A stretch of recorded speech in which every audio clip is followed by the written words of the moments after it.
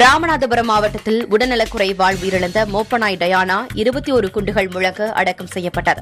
ராமநாதபுரம் மாவட்ட வெடிகுண்டு தடுப்பு பிரிவில் ஐந்து வயது பெண் நாய் டயானா குற்றப்பிரிவு காவல் ஆய்வாளர் மாரீஸ்வரி தலைமையில் தீவிரமாக செயல்பட்டார்.